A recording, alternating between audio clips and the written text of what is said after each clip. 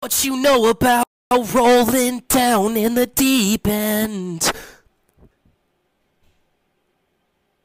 I have. I have Depression.